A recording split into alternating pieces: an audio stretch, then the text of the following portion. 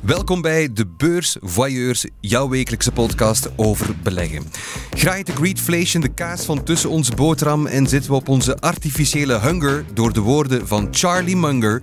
We hebben de voorbije week weer postgevat langs de zijlijn van het beursspectakel om de ontwikkelingen op de voet te volgen. Alle beursnieuws hoor je hier in De Beurs Voyeurs.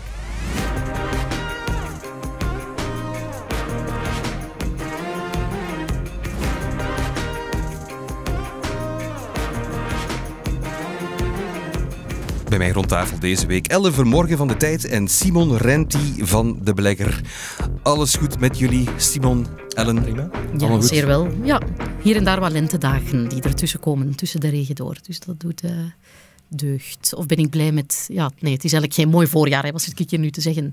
Mijn jacotbrokken staat niet goed afgesteld. Nee, het is nog niet zo, niet zo mooi weer. Nee, oké. maar alleen, blij dat er af en toe een Maar zon... al, al, alles goed dan? eh, Ja, ja, voilà. ja, oké. Met mij ook, dank jou wel. ook? Nee, nee, geen probleem. Genoeg over ons. Eh, we zijn natuurlijk hier allemaal heel erg benieuwd wie nog aan onze tafel zit deze week. U kan hem wellicht kennen uit series zoals Code 37, De 12, Albatros of Roomies of films zoals Hasta la Vista, Ik wil poepen! Als u iets zegt, dat is ja. Eh, Cargo, of op de planken natuurlijk in talloze theaterproducties, dat ook. Of u kent zijn werk als producent, samen met regisseur Gilles Coulier leidt hij productiehuis De Wereldvrede, bekend van onder meer de legendarische reeks Bevergem, het fantastische Albatros. Enfin, we hebben de rode loper helemaal uitgerold. Gilles, de schrijver, hartelijk welkom. Ik ben een beetje buiten adem geraakt door alleen maar jouw cv voor te lezen. Ik hoop dat ik geen fouten heb gemaakt of heel belangrijke dingen ben vergeten. Nee, dat is het, eh, dat is het ongeveer, Oké. Ja. Alles goed met jou? Zeker, zeker. Blij om hier te zijn. Ik ben eh, ook heel blij dat je hier bent. Dat is heel bijzonder. We hebben eh, heel wat producties van je vernoemd. Eh, en ik ben blij dat ik, dat ik er ook geen vergeten ben. Mocht er nog iets komen... la- Ja, je de laatste zomer. Het een van, vind ik een heel De erg laatste mooi zomer, dat was mijn, mijn allereerste film. Ja, ik had die op dvd en ik was aan het snuisteren. Ik wou die meepakken om zo in beeld eh, te flaggen hier, zo, omdat ik dat zo'n mooie een- film vond. Dat is een oldie, hè? Ja. Dat is een oldie, maar ja, we, we hebben dezelfde leeftijd. En dat was, ik heb u geresearched, want dat moet, hè. We, we komen allebei uit het geboortejaar Dat is helemaal niet 84. creepy voor, eh, Een beetje creepy, hè. Ja. Maar, en, maar de laatste zomer voor mij, ik heb die ook op dvd gehad, omdat ik dat zo'n mooie... Maar ik vond hem niet direct terug. Eh, mijn dvd's zitten ergens Die heb in ik ook doos. gemist. Dat Maar de laatste zomer vond ik een prachtige film. Ja, over eh, ja, de, eh, ja, de overgang van jeugd naar een eerste verliefdheid en wat dat, wat, hoe dat vriendschappen impacteert. En, Zeker het ontluiken van, eh, van Ja. de liefde binnen een vriendschap. Ja. ja. Ja. In de heetste zomer. Die gedraaid is op de meest natte zomer ooit. Is dat waar? In de geschiedenis, ja. Het is 1996 dat het verhaal zich afspeelt, maar het is gedraaid in Maar het is 2000. Twee, Twee, 2003, drie. Ja. misschien. Ja. Tien jaar later. Een hoor. bijzonder mooie film, dus luisteraars eh, warm aanbevolen. Ja. Gilles, waar ben je nu mee bezig eigenlijk? Ik schrijf, eh, ik schrijf op dit ogenblik met eh, mijn, eh, mijn zakenpartner en collega en partner in crime Gilles Collier aan een reeks die heet Beats of Love voor VTM. Ehm, daarvan beginnen de opnames volgende zomer. Ehm, en wij zijn bezig met het ontwikkelen van ehm, talloze films en series. Wij brengen ook een film uit, waarschijnlijk dit najaar, die heet Holy Rosita van Wannes de Stoop, de regisseur van Albatros. Ehm, dus ja, met van alles en nog wat. Je bent natuurlijk eh, ook niet alleen acteur, regisseur, maar ook producent. Eh, Dat, dat ben je nu, ja, dat heb je net allemaal verteld ook. Maar eh, wanneer is dat idee ontstaan om, om- om dat te gaan doen? Want dat is, dat is best wel spannend. Dat gaat dan ook over centen en, en dingen moeten opleveren. Dat klopt. Ehm, ik heb eigenlijk al. Ik, ik kom uit een, een, een ondernemersfamilie, eh, als ik dat zo mag zeggen. En eh, ik heb dat altijd gezien rond mij, van hoe dat, dat moest en hoe dat, dat ging. En eh, ik heb op heel vroege leeftijd, toen ik met mijn vader een fiets ging kopen, ehm, The Art of the Deal eh, mogen meemaken. En heel snel eh, de spanning gezien van, van wat dat, kan betekenen en hoe tof dat, dat eigenlijk is. Ja. Is er verband met, met acteur zijn of zo? Want je, Volledig, volledig, Ja. volledig. Want je speelt, hè, je speelt als je eh, een deal sluit, speelt je ook een rol. Maar wij spelen allemaal hè, in het leven. Wij, sp- wij spelen heel de tijd een rol bij de die. En dat gaat niet over onoprecht zijn, dat gaat echt over hoe dat we ons moeten gedragen, hoe dat we mensen niet leren te kwetsen en hoe dat we beleefd zijn. Dus wij spelen eigenlijk heel de tijd. En, uh, maar dus dat spelen, dat, dat, is altijd mijn passie geweest. Maar uh, op de achtergrond heeft altijd een soort uh, latent ondernemerschap cool, geslijmerd. ja. En toen dat ik uit het conservatorium kwam, dacht ik van, goh, zo zelf een film of een reeks helemaal van nul tot release maken, dat, dat vond ik super spannend. Ja. voilà. Dus zo. En gewoon uh, omdat, ik, omdat ik er een uitdaging in zag. En, en ja, speciale inspiratiebronnen daarbij ook? Um, maar uh, ik denk vooral alle mooie cinema die gemaakt is geweest. En ook uh, een aantal makers in, in Vlaanderen die, die toch bijgedragen hebben aan, aan, vind ik, het Vlaams patrimonium. Felix van Groeningen, die heel nauw verbonden was met Dirk Kimpens. Een uh, productiehuis in het Gentse, die heel, heel toffe dingen maakte, heel inspirerende dingen. Um, ja, dat heeft er allemaal toe bijgedragen. Ja. En natuurlijk voorbeelden zoals Steven Spielberg en, en echt, het, de echte talenten die dan zelf zijn beginnen produceren, dat zijn ja. echte grote ja, voorbeelden. Het is fijn dat dat zakelijke en dat creatieve elkaar dan toch kunnen vinden. Hè? Want dikwijls wordt er wat ja, schamperen over gedaan uh, vanuit de kunsten, dat het allemaal niet te, te zakelijk mag zijn. Maar in, het kan dus wel degelijk uh, met elkaar. En in uh, de filmindustrie is dat bij uitstek zo, hè? omdat filmen zodanig veel geld kost, dat er altijd een groot risico genomen wordt en dat die twee elkaar tegenkomen. Ik um, vergelijk het heel vaak met Um, met de, uh, mijn echtgenote is arch architecte. En um, eigenlijk wat een producent doet voor film en televisie, dat doet een aannemer voor een gebouw. En dan is de regisseur de, de, de regisseur van de reeks of de film en is de architect de architect van het gebouw. Omdat mensen vaak niet weten wat dat, dat is, produceren. Ik probeer het altijd zo uit te leggen. Um, maar dus in beide uh, gebieden is er een soort crossroads tussen het echt financiële en het echt technisch-artistieke. En het is daar waar ik vind dat we onze grootste bijdrage aan, uh, aan de maatschappij kunnen leveren. Ja. Een goede aannemer, ben blij dat, dat we op tijd er geraakt zijn om te beginnen al. Dus laten we eraan beginnen. Fijn om je al een beetje te leren kennen, Gilles. Ja. We gaan beginnen met het uh, nieuws van de voorbije week. De beursblik. Wat kunnen we niet laten liggen en zouden we graag eens uh, bespreken hier vandaag? Laten we met Simon beginnen. Waar wil jij het vandaag over hebben, Simon? Uh, ja, we kunnen het niet anders dan over AB InBev hebben, denk ik. Uh, we houden de, woke-discussie graag buiten de beursfailleurs houden, maar dat is uh, niet gelukt. We kunnen er niet omheen. Hè. AB InBev, ons, ons zwaar gewicht in, in Brussel toch wel, is in een soort van woke-oorlogje, of ondertussen een oorlog terechtgekomen. Mm-hmm. wat hebben zij gedaan om het een beetje te kaderen? AB InBev is via de overname van Anheuser-Busch, het AB'tje in AB InBev, uh, zijn ze heel actief op de Noord-Amerikaanse markt met Budweiser en uh, Bud Light. En uh, die markt die sputtert een beetje. Het klassieke pilsbieren, de, de klassieke dorstlessers, daar zit niet veel volumegroei in en wordt ook een beetje ja, aangeknabbeld door de kleinere craft beers bijvoorbeeld. Mm-hmm. Dus ze sukkelen een beetje met dat merk en ook ze hebben een vrij uh, klassieke achterban. Het is zo een, een stoer uh, mannenbier, die Budweiser. Dus ze zijn zo op zoek naar, naar om dat merk te verjongen. Ja. En ze hebben er niet beter op gevonden om wat product placement te doen. En ze zijn dan bij, bij Dylan Mulvaney terechtgekomen. Wie is Dylan Mulvaney? Ik ken ze uh, op voorhand, moet ik zeggen, ook niet. Uh, dat is een, een transgender uh, actrice en ook activiste. Uh, die haar eenjarige transitie, transitie vierde. vierde. Ja. En ze hebben haar een, een, paar blikjes Bud Light cadeau gedaan. Mm-hmm. Eén ze... blikje, als we de CEO moeten geloven. En benadrukt dat overal. Just one ja. can. Hij heeft Ah, maar één blikje opgestuurd. naar Inderdaad, ja. gepersonaliseerd. One can, one can. Ja, Een gepersonaliseerd blikje met haar uh, gezicht erop. En heeft dat dan uh, op sociale media gepost van hey, ik heb het cadeautje gekregen. Ja. Uh, en er is een, een gigantische storm van uh, consternatie over uh, ontstaan die ABMF ook helemaal niet uh, verwacht had.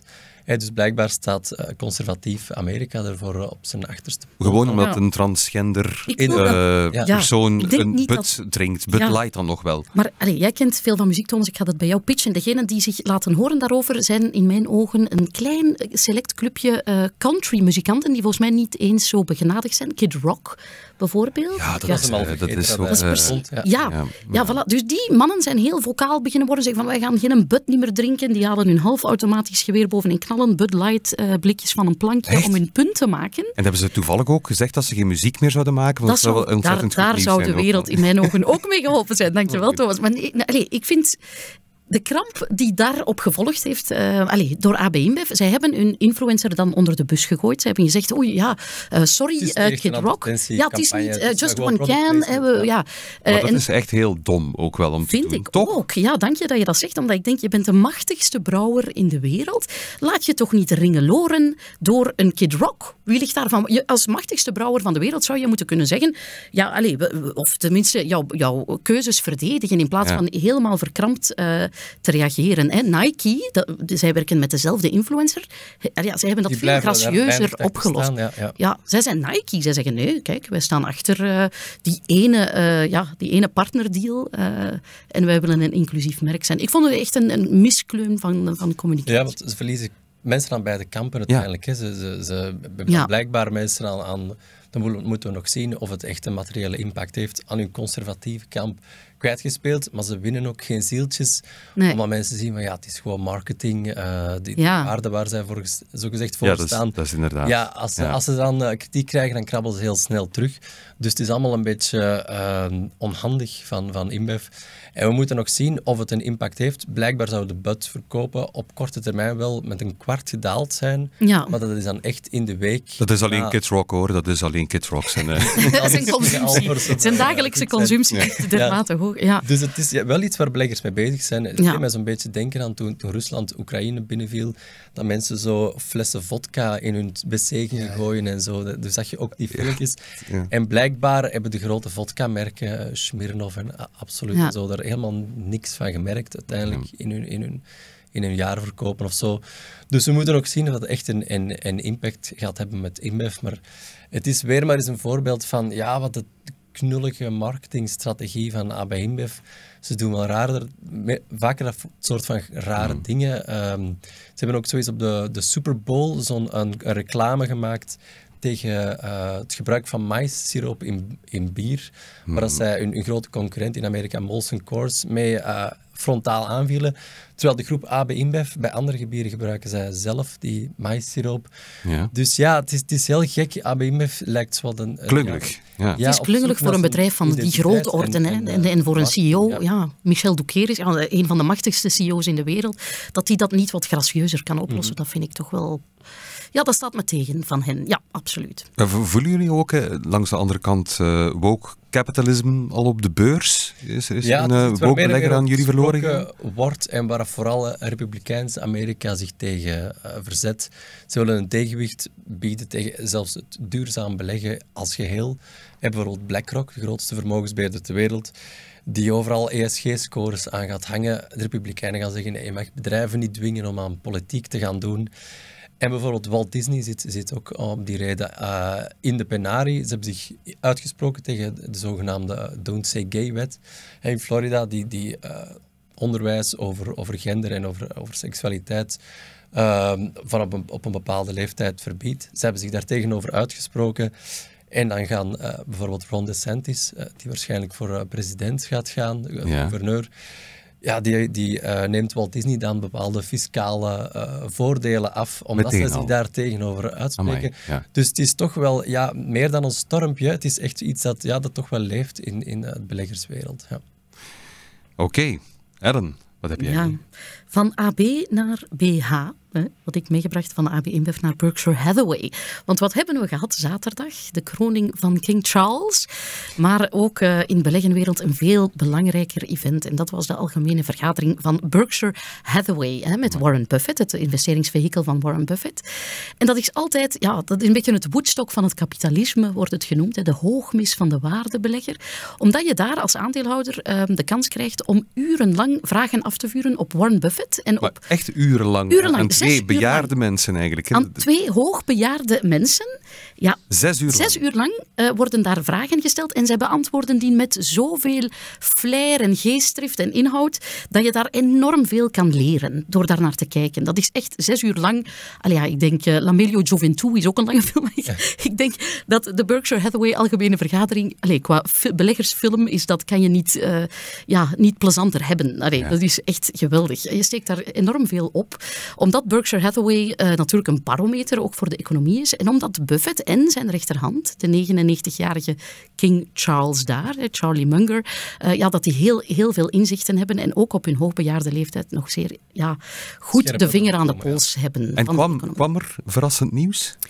Er kwam uh, verrassend nieuws. Ik vond Buffett niet echt upbeat klinken. Hij zei van kijk, we stevenen wel af op winstdalingen ook bij onze participaties. Hij waarschuwt er is wat overtollige vraag in de economie. Bedrijven hebben hun voorraden misschien wat kunstmatig hoog aangelegd. En die overtollige vraag gaat er nu wat uit. Dus dat, daar maakte hij zich zorgen over. Ook de banken, daar klonk hij uh, ja, bezorgd over. Um, maar er waren daarnaast ook heel veel uh, persoonlijke inzichten die zij altijd geven. Dat vind ik ook altijd leuk. Wars van het financiële geven zij ook uh, um, ja, heel veel uh, inzichten over jezelf of zo. Buffett's advies dit jaar was schrijf je eigen obituary. Schrijf je eigen grafrede of je overlijdensbericht.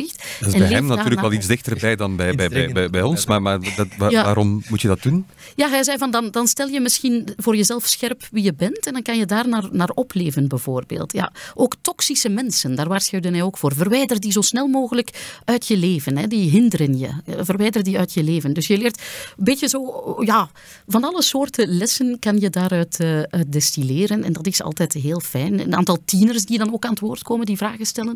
En die dan ook heel kritisch zijn. Blijft heel populair bij, bij, jonge mensen. Ja, die, daar, uh... ja, die zeggen, meneer Buffett, doet u wel voldoende voor vergroening bijvoorbeeld? Waarop Buffett ja. zegt, kijk, onze uh, Berkshire Hathaway Energy tak doet het meest van alle nutsbedrijven in de VS voor vergroening. Want die keert geen dividend uit. Andere nutsbedrijven keren 60 à 70 procent van hun winst uit. Wij hebben nog geen, geen gewoon dividend uitgekeerd vanuit die energietak. Dus wij herinvesteren dat in vergroening. Allee, wow, ik heb er de mond van vol gehoord. Ja, ik merk het. Ja. Maar, maar, hoe, hoe dus, kenmerkt tegenwoordig de, de, de Berkshire Hathaway-belegger zich? Wat, blijft dat dezelfde filosofie zoals we het altijd kennen? Um, ja, het is het, het waardebeleggen. Het beleggen in uh, bedrijven met track records, met, uh, met gevestigde... Ja, het, het, het kroonjuwelen uitzoeken aan een faire prijs. Het is, dat is een beetje de, de filosofie. Um, en dat, ja, natuurlijk evolueert die, uh, die holding ook wel. Hè. Allee, de opvolging van Buffett wordt nu heel druk over gepraat. Want ja, gezien hun leeftijd gaan die mannen misschien geen jaren meer meegaan. Dus dat is een hot topic.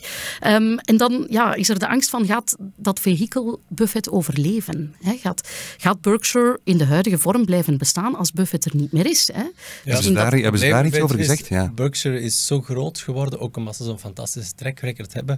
Het wordt altijd maar groter en men spreekt vaak over, schaalvoordelen in een economie, maar er bestaat ook zoiets als schaalnadelen.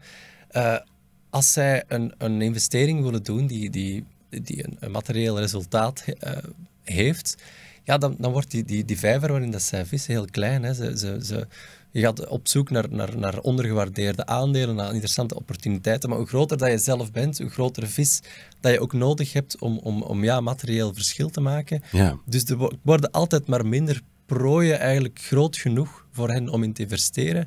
En dan wordt het ook moeilijker om de beurs te gaan kloppen. De laatste 10, 15 jaar is het, is het moeilijk voor Berkshire Hathaway.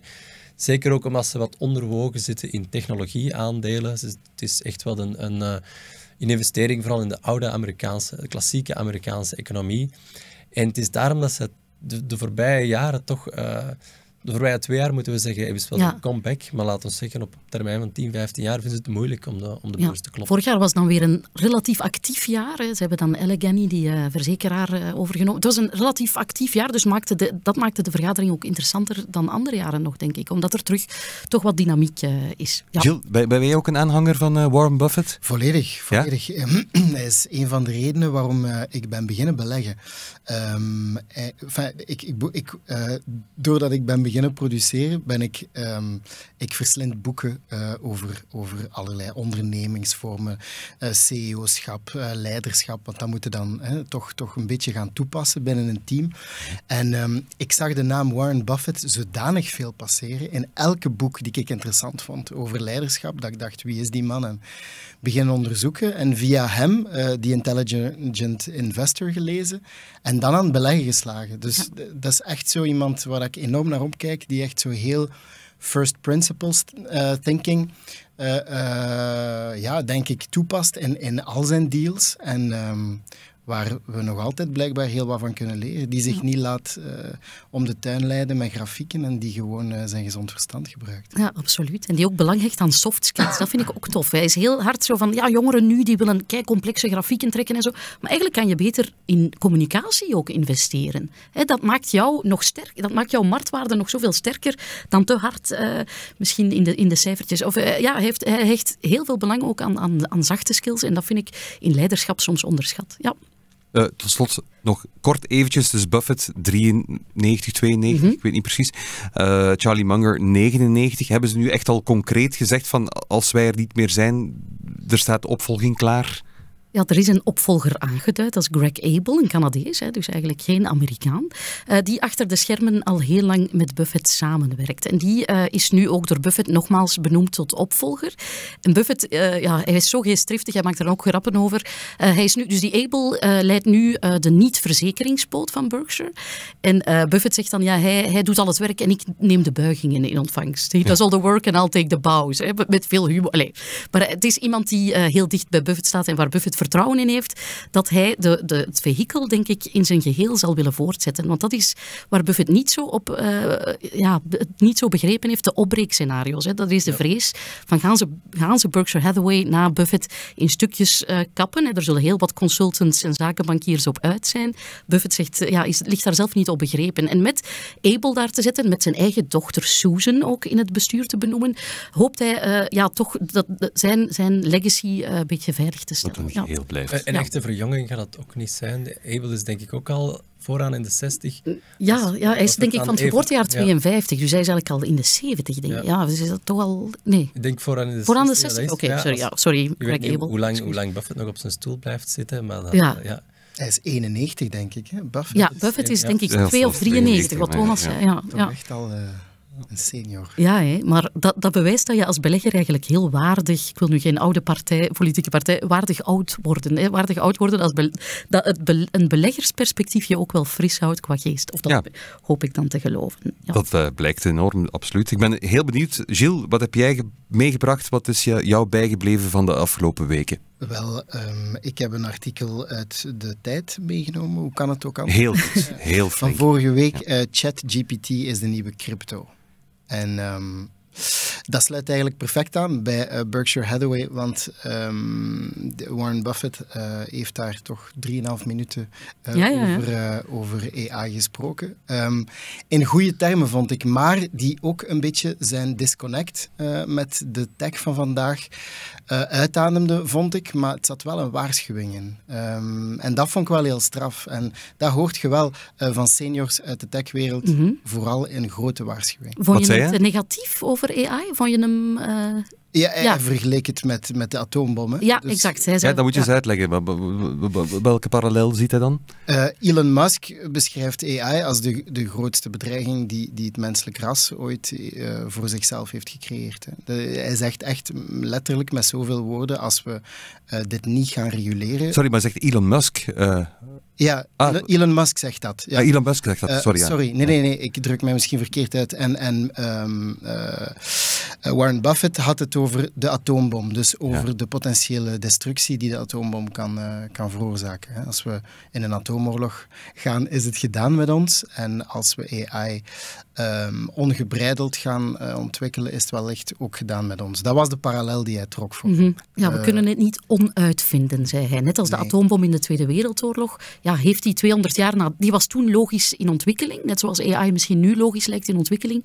Maar heeft die 200 jaar na datum de wereld eigenlijk fraaier of beter gemaakt? En de, die parallel heeft hij, denk ik, uh, willen maken. Ja. En hoe kijk, jij, hoe kijk jij ernaar, Gilles? Vind jij AI...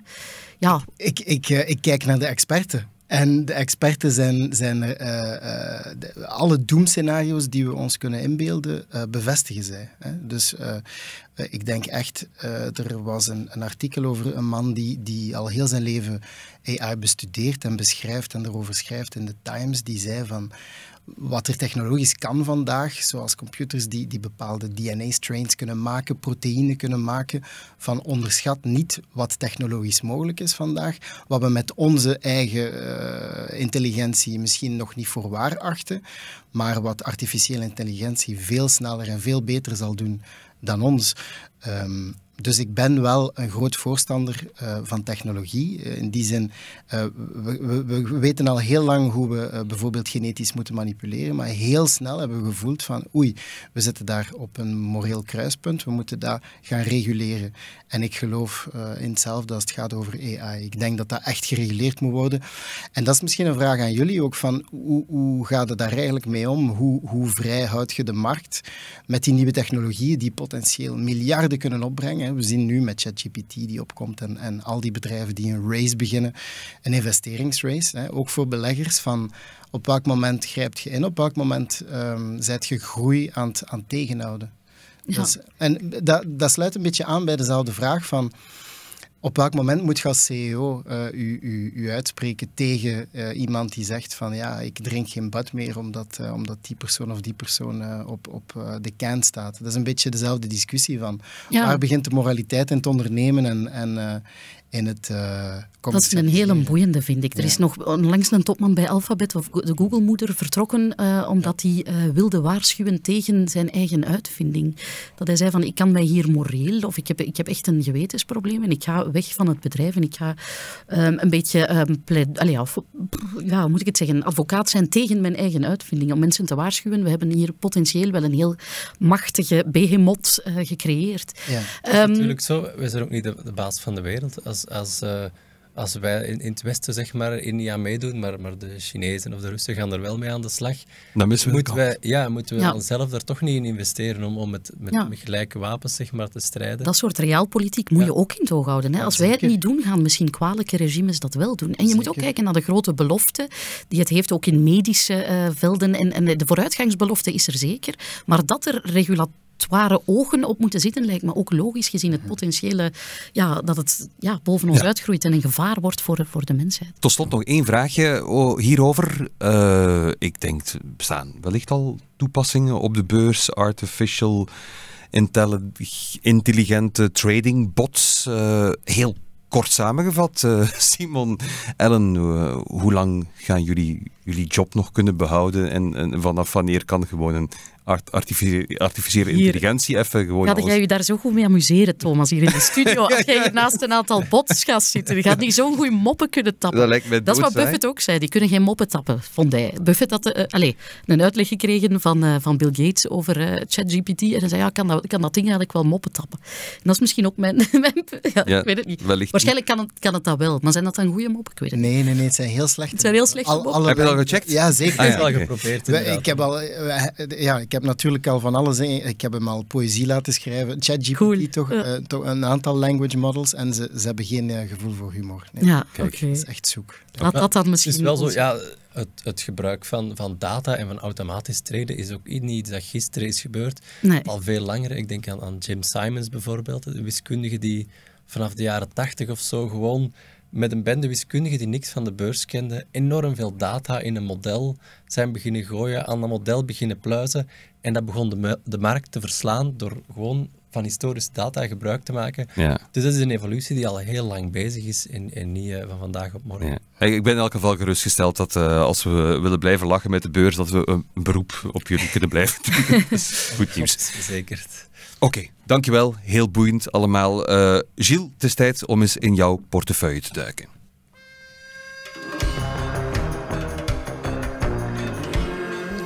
Show me the money. Juist ja.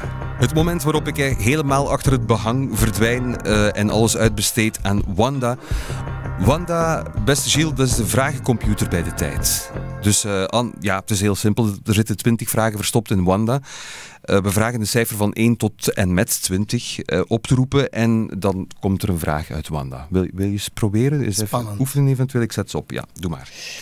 Um, mijn mijn um, lievelings- en uh, geluksgetal 9. Wat was je slechtste belegging? Levert meteen al een redelijk filijne vraag op. Wat was je slechtste belegging, Gilles? Um, wel, het is een belegging. Ik weet niet eens of ze een belegging kan genoemd worden, want ik zie ze als een speculatieve belegging. Um, het is een die ik op dit ogenblik nog in portefeuille heb. En dat is um, een cryptomunt. Uh, okay. En die heet uh, CRV. Um, dat Klinkt als een virus eigenlijk. Ja, ja dat zit in de uh, DeFi. Eh, decentralized finance. Ehm, en ik heb eh, heel wat eh, crypto's gekocht, Ethereum en zo. ik denk vlak voor de pandemie nog. Ehm, en daar heb ik toch, heb ik, eh, ja, ik heb mooi gediversifieerd, Mhm. een beetje geld verdiend. Maar tot eh, in de long run nu zet ik toch 30% eh, in het rood. En ik ga dus hoddelen tot, eh, Je gaat hodelen. tot, Voor- tot dat. En ik denk, ja, als ik... Ik heb gisteren nog eens gekeken en de, de halve, we zitten eigenlijk ehm, in de... Als we kijken naar de vorige vierjarige cyclus, zitten we eigenlijk bijna net voor het midden. Dus eigenlijk zou ik hem gewoon moeten houden en bijkopen. Houden en bijkopen. Dat is heel... Ja, ja, wauw. Ja. Allee, dat... eh, Dus de- officieel gesproken. Maar dus ik heb nog een beetje fiat, eh, cashgeld staan op, eh, op, op Binance. Via Binance doe ik dat. Ehm, en dus ik ben nu aan het twijfelen van, ga ik wachten Ja. en dan break-evenen? Of ga ik gewoon alles wat ik nog heb staan erbij pompen? Erbij pompen. zien Amai, wat er het, ge- het getuigt van stressbestendigheid. waarom dat je die meer in die munt gelooft dan, dan in een andere digimunt? Ik ben het meest kwijt op die munt. Op die CRV, Daarom- ja. Ja, Ja, ja, al die daarom- kleinere daarom coins hebben heel veel slaag gekregen. Allee, verhoudingsgewijs veel meer slaag dan de Ja, gevestigde eh, bitcoin en ethereum. Die, die, die, eh, die stijgen ook het hardst hè, als, eh, als het wel goed Ja. gaat. Dus het was ook de bedoeling om richting de maal 5, maal 10 te gaan. Dus, eh, en met sommige munten ben ik mooi in die richting gegaan, maar eh, sommige munten niet. En je behoudt het vertrouwen wel in het crypto-universum? Of, je- of in, Zeker. def, of in Zeker, DeFi? Ja. zeker. Ik denk, eh, vertrouwen zeker. Ik denk de, de hoogste in- inschattingen zitten ongeveer op het dubbel van wat ik denk dat bitcoin gaat gaan op de middellange termijn. Ik, denk, ik zie hem nog stijgen naar 140, middellang.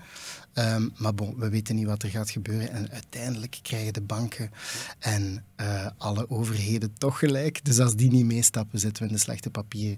Maar als dat niet gebeurt, als die wel meestappen, waar het toch op lijkt, dan, eh, dan zie ik een mooie toekomst, vooral voor Ethereum. Ja.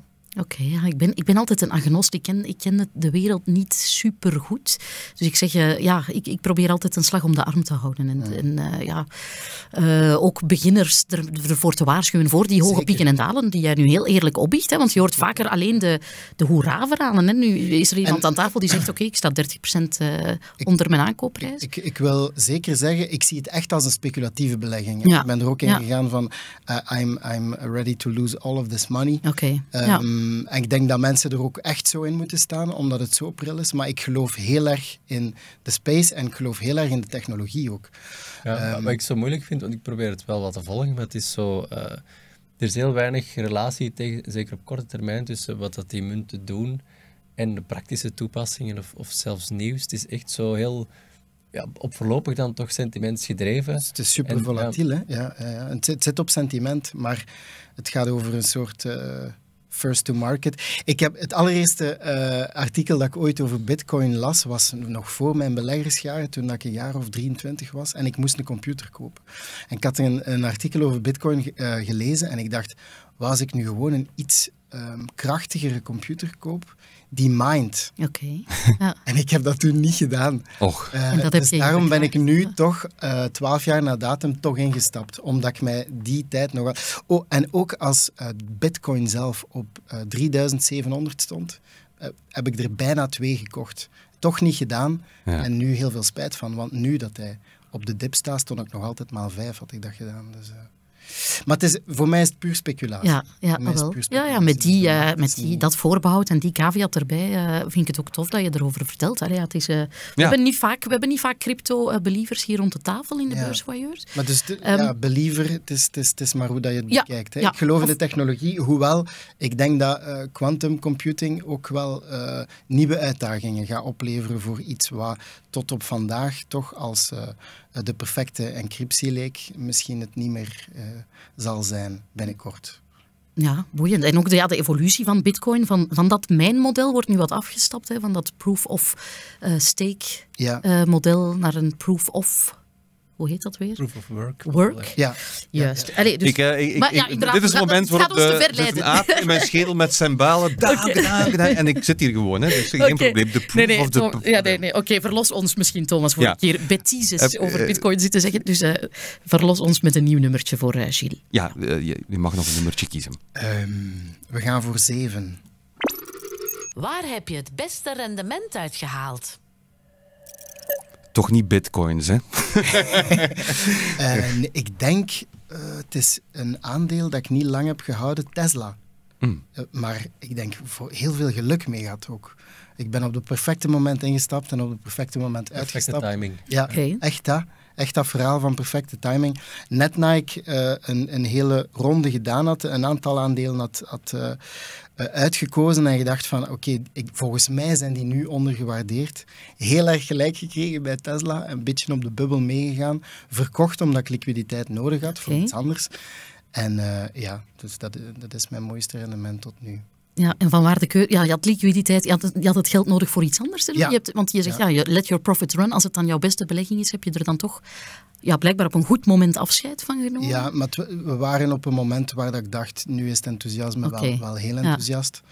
Ehm, Je voelde het. Ja, en Ja. de hype rond Elon is altijd van die aard dat alles een beetje bubbel is hè, rond die man. Dus Ja, het het is een enorme turnaround geweest. Ik weet in 2017, 18 of zo, waren ze echt bijna een randje faillissement. ja, En het is een, een enorme ja, opmars toen, operationeel, maar ook beleggers die gevolgd zijn. ja, Voor een stuk ook een, een short squeeze. Hè. Heel veel mensen die tegen het aandeel gewet hebben, die, die altijd maar ongelijk kregen en dat aandeel ook omhoog stuwden. ja. Maar ook analisten die iets te lang negatief zijn geweest, omdat we uit dat faillissementscenario niet zo lang geleden waren. Maar nu is het echt zo'n operationele powerhouse geworden die heel de auto-industrie eh, het vuur aan de schenen legt. Ja. Zeker, zeker. En dat, was de, bon, dat wisten we al. Toen dat de Model 3 op de markt zou komen, ging alles veranderen. En dat, dat kwam maar niet dat moment. Dus hij heeft wel, denk ik, echt op de rand gestaan van. Mhm. Ehm, en, en ongeveer op dat moment ben ik ingestapt. En ehm, voilà, met een maal 2 was ik al blij geweest, maar ik heb verkocht op maal 5. Goed gedaan. Dank u. Nog een cijfertje. Eh, nummer 16. Van welk aandeel droom je? Ik heb op dit ogenblik geen, geen droomaandelen. In Mhm. die zin dat ik... Er is geen aandeel waarvan dat ik denk... ehm, dat moet ik nu doen. Maar... eh, ja, daar kan ik Ik weet ook niet wat Wanda er precies met... Misschien bedoelt ze, had ik het maar gekocht? Of, of eh, ik, ik weet, ik weet het ook niet precies. ik snap ze ook niet altijd. Er zijn Eh, wel soms van die aandelen waar dat je inderdaad van denkt, die Had altijd net maar. iets, net iets te duur zijn. Ja. En je Ja. denkt van, eh, als Ja. het nu eens terugvalt, dan eh, koop ik dan ga ik het doen. En dan doe je dat altijd net niet. Net niet, Ik heb dat met, met LVMH bijvoorbeeld LVMH, verschillende ja. keren gehad. Ja. Eh, maar ik heb dan de indruk, als je dat dan uiteindelijk toch doet, is dat meestal op het moment dat het eigenlijk zo dat het aan het keren is, dat je er beter gewoon helemaal vanaf blijft. Ja. Ja, ja, ja, aandelen die te duur zijn of zo. Nee, ik ben niet... ehm, ik ben niet van, van, van- Ik heb niet genoeg geld. Ik, ik vind... Ik, vind ik, ik, ik denk dat er heel veel geld te verdienen is ehm, als je slim investeert. Maar om slim ehm, te, te, te beleggen, vind ik dat je er heel fel mee moet bezig zijn. En gelijk dat je daarnet zei, echt eh, stalen zenuwen. Maar vooral, en dat is vooral wat, Warren Buffett ook doet, u inlezen. Constant, constant. Niet alleen over de beschikbare cijfers, maar ook de, de, de, de data die misschien minder, moeilijk te, eh, minder makkelijk te vinden zijn. En dat is zoiets, daar is, daar, voor mij is dat een fulltime job. En dus daarom beschouw ik het beleggen voor mij toch een beetje als, ehm, als risicovol. Mhm. En daarom zou ik ook niet happig zijn om peperdure aandelen te gaan aankopen of, of dingen die ik, eh, die, ik, die ik moeilijker kan betalen. Dus een droomaandeel, dat, dat, dat vind ik Ja. moeilijk om echt zo de stap te zetten naar ik ga hier al, al in gaan of zo. Ja. Ja. Nog een cijfertje. Nummer 19. Beleg je samen of alleen? Ik eh, beleg alleen. Ehm, hoewel, ik, ik, ik hoor eh, mijn echtgenote ook in een aantal beslissingen die, eh, die alles aan mij overlaat. Maar En hou je dan rekening mee of Zeker, hoor je alleen zeker. maar? Ik hou vooral rekening als het gaat over risicobepaling. Ja. Eh, dat is altijd een goed iemand om naast mij te hebben die, die aan de buitenkant staat en minder, minder het hoofd dol is gemaakt. En moet, moet ze jou soms temperen van, kom Gilles, ja, Ja, zeker. Ja. Constant. Ja? Ja, ja, zeker, zeker. Ik ben iemand die nogal eh, snel van stapel gaat en eh, eh, heel zo een nieuwtje en dan gaat, gaat de motor aan het draaien. En, eh, dan, Ja, maar tegelijkertijd, ja, je bent een acteur, die moeten, die moeten sensitief, die gevoeligheid, dat, Ja, dat, dat, dat wordt ben- heel snel getriggerd, maar tegelijkertijd ben je ook heel, heel, ja, heel ja. rationeel en, en ga je inlezen en Ja. mij gaan ze niet hebben. Dat, dat, dat is helemaal niet op gevoel, lijkt, wat nee, je, wat je maar daar die allemaal beslist. rationaliteit heb ik mezelf moeten aanleren omdat ik enorm impulsgedreven ben. Dus Ja. vroeger kon ik, eh, ik spreek als ik jaar of twaalf was of zo, en 200 frank was dat dan toen, uh, in mijn broekzak had, kon ik niet een winkel binnengaan zonder die uit te geven. Ja, ja. Ja. Dus dat was, Je komt van ver. Ja, ik kom echt van heel ver. Dus uh, ik moet beschermd worden tegen mezelf en ik heb me, mezelf gedwongen om, uh, om rationeel met die dingen om te gaan. Ja. Oké. Okay. Een allerlaatste cijfertje, dan ben je er vanaf. Um, nummer vier. Welke strategie werkt voor jou niet? Wel, um, ik denk de strategie van het korte termijn denken uh, is altijd nefast. Um, natuurlijk, als het gaat over daytraden en dat je de, de, de, uh, eerst en vooral de zenuwen ervoor hebt, uh, de, de, de ja, um, zelfzekerheid hebt om dat te doen, dan kun je echt op nieuwsfeiten beginnen, beginnen speculeren. Um, maar ik heb, wat ik geleerd heb, ook van Warren Buffett, ook van die intelligent investor, is dat je lange termijn werkt altijd. En daarom um, ook aan de luisteraars, hoe jonger je bent, hoe meer voordeel je, dat je hebt op de markt. En dat is iets wat ik ik ben nog niet heel oud, maar toch veel te laat gesnapt heb. Ja, die horizon, hoe machtig ja, dat dat is. Ja. Dat is gelijk een beetje naar je tuin kijken en denken, ah, dat plant ik volgend jaar wel. Ja, dan zijn we weer een jaar ja. kwijt. En als je een boom ergens wilt hebben staan, ja, dan moest je gisteren geplant hebben. Dus als het gaat over beleggen, denk ik, al heb je 10 euro, doe het vandaag. Oké, okay. ja. want dat gaat dan wat in tegen je impulsieve natuur. Hè? Je ja. Zegt, ja, daytraden... Heb je dat altijd geprobeerd? Heb je dat, dat gedaan? Of, of, is dat dan zoiets, toch een, een beestje op jouw schouder, een duiveltje dat zegt, hey, we gaan dat nu keihard uh, leveragen, uh, die 200 frank in mijn zak. Of ik wat of, gedaan heb? Of daytraden of... of uh, nee, nee, nooit. Nee, nooit nee, gedaan. Daar... daar daar heb ik te veel nee. andere dingen aan mijn hoofd voor. Uh, maar sommige uh, vrienden van mij hebben wel op de cryptomarkt uh, ja, hun job opgegeven en op een gegeven moment verdienden die zodanig veel geld dat die zeiden van uh, mijn fulltime job kost mij op dit ogenblik, uh, dat was in de laatste uh, bull market, kost mij te veel geld. Dus ik ga gewoon achter mijn computer zitten en crypto, crypto, crypto. En sommigen hebben heel veel geld verdiend en sommigen zijn alles kwijt. Ja. Allee, maar straf, ja? Ja. En je bent nog vrienden met beide? Ja. ja dat vind ik mooi. Okay. Vooral met, de die Vooral met die paupers die ja. nu, uh, nu niks meer hebben. Ja, nee, super. Ja, wauw. Ja, ja, zo zie je maar. Het is, ja, uh, de lange, op de lange termijn heb je dat niet, die extremen. Nee, nee, Dan ga je voor een gezapiger rendement, maar wel eentje waar je niet mee in de goot Daarom, uh, eindigt. En hopelijk, ik, ik, wil daar wel aan toevoegen, um, alles kwijt zijn, alles is relatief. Hè. Ja, ja, ik ken niemand die, die op straat moet slapen. Maar ik ken wel mensen die, die, die veel, veel verloren. Ja. Ja. Veel meer, Gilles? Je bent best open, openhartig geweest, maar, maar uh, Wanda was niet zo vilijn voor jou? Of, uh, je, bent, ja, je, hebt het, je hebt het goed gedaan. Bedankt. Ja? Uh, ik heb zo eerlijk mogelijk proberen antwoorden. Ja. Dank je wel daarvoor. We gaan nu iets helemaal anders doen. We gaan een luisteraar helpen. De hulplijn. Ook deze week wist u ons te vinden, beste luisteraar, uh, tot mijn groot jolijt natuurlijk, want we zijn er om jou te helpen. En in het bijzonder onze specialisten en onze gast vandaag, Gilles natuurlijk. Uh, onze luisteraar heet vandaag Milan. Dag Milan. Hallo, dag Thomas. Milan, uh, waar ben je op dit moment, als ik dat mag vragen? ik zit nu op school momenteel. Maar je zit letterlijk nu op school? Ja, op school. In, in, in de klas dan, of... Nee, ik heb een apart uh, locatie gekregen van mijn leerkracht Nederlands om uh, het gesprek te kunnen voeren. Maar fantastisch. Super. En, en, en wel, welk jaar zit je dan, uh, Milan? In mijn laatste jaar.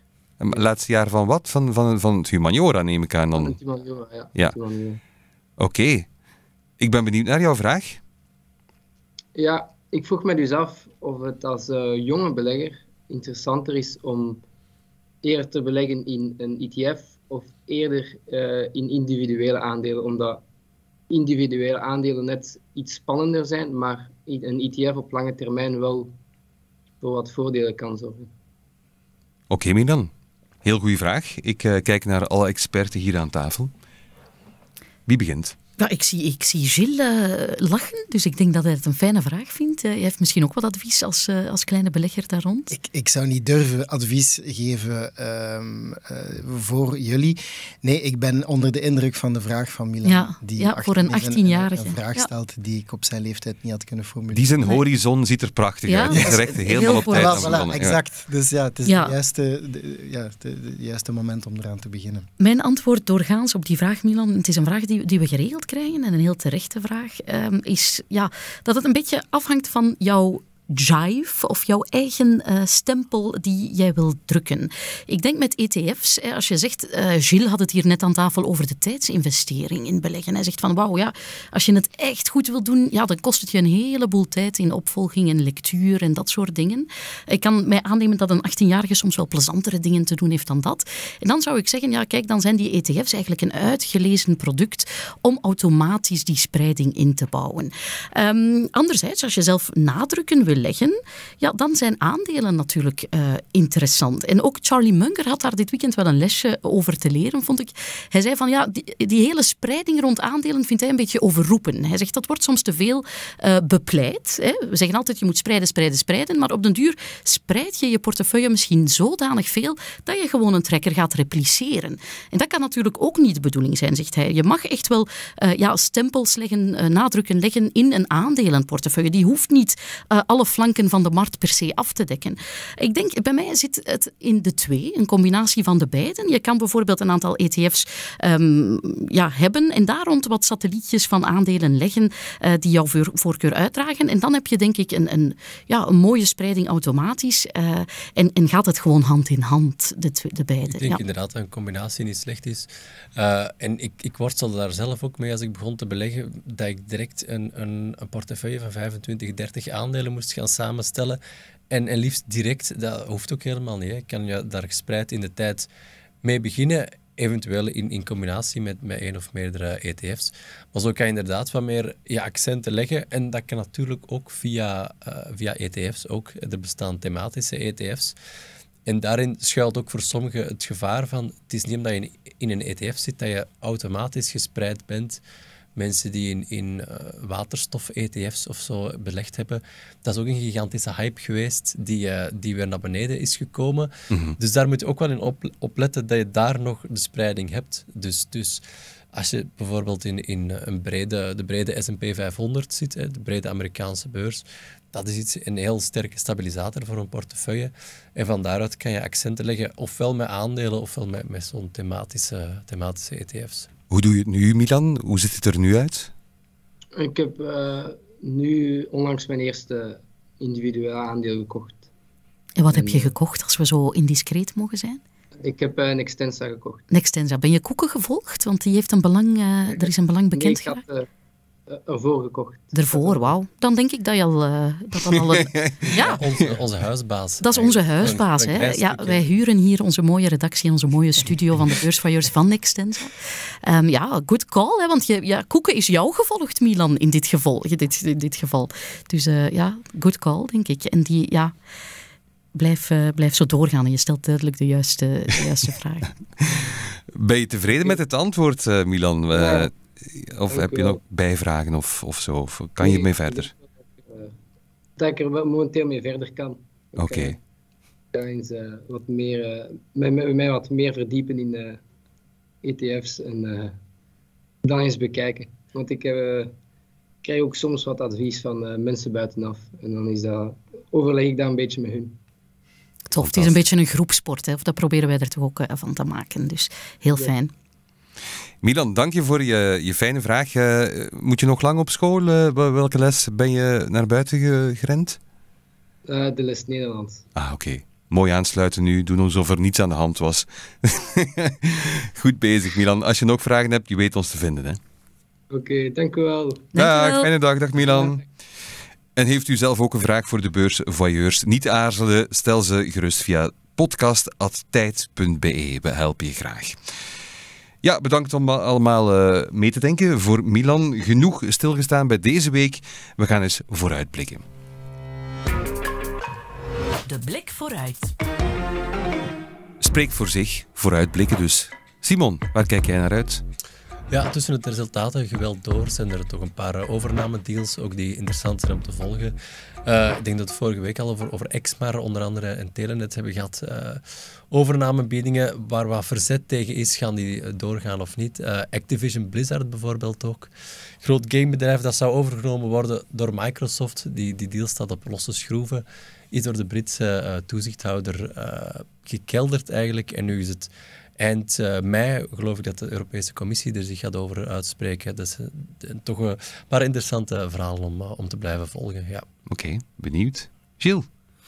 Uh, de komende weken ga ik um, vooral met de wereldvrede bezig zijn. Uh, Jouw productiehuis? We, ja, ons productiehuis, waar we nu twee mooie projecten, uh, één aan het afronden zijn en één aan het opstarten. En het ene heet Holy Rosita en dat is waarschijnlijk voor dit jaar dat we de release voorbereiden, de film van Wannes de Stoop, de regisseur van Albatros. En we beginnen aan de opnames van Julie, de eerste langspeelfilm van Leonardo van Dijl, die twee jaar geleden met zijn kortfilm op kans stond die we ook produceerden. Dus uh, dat zijn twee mooie projecten waar we onze handen aan vol zullen hebben. Zeer benieuwd, wow. ja. zeer benieuwd. Klinkt heel goed. Ellen? Ja, ik, geïnspireerd op, op de cinema van, uh, van Gilles, ga ik toch voor de cinema op de beurs. En die heeft uh, Simon net even aangestipt. En dat is Exmar, uh, ja, die een, een, een uitkoopbod willen doen. Het management wil, of de eigenaars willen Exmar van de beurs liften. En op 16 mei is er daar algemene vergadering. Dus kunnen de aandeelhouders, waar het protest toch, vind ik, ja, onder de radar wat aanzwelt tegen dat opportunistische bod, um, ja, zich kunnen uiten daarover. Dus ik verwacht daar wel wat vuurwerk van. Ik, ja, dus ik ga dat met, uh, met veel interesse volgen. Goed. Dat was het voor vandaag. Ik bedank onze beursvoyeurs van dienst Ellen Vermorgen, Simon Renti, natuurlijk onze bekende voyeur, Gilles de Schrijver. Ook grote dank aan de jonge luisteraar Milan voor al zijn slimme vragen. Volgende week zijn we er opnieuw met een nieuwe bekende voyeur die nog niet al te veel prijs wou geven, behalve dit. Graag tot volgende week. Hallo beursvoyeurs. Eindelijk. Ik verwacht al een telefoontje, maar bleef maar uit, hè. En natuurlijk kom ik graag langs. Met veel plezier zelfs. Bijna alle banken zijn al gepasseerd, maar de mij nog niet. Het is niet mogelijk, hè. Gelukkig zetten we dat snel recht. En dat het weer intussen maar zo mooi mag zijn als mijn achternaam. Tot binnenkort.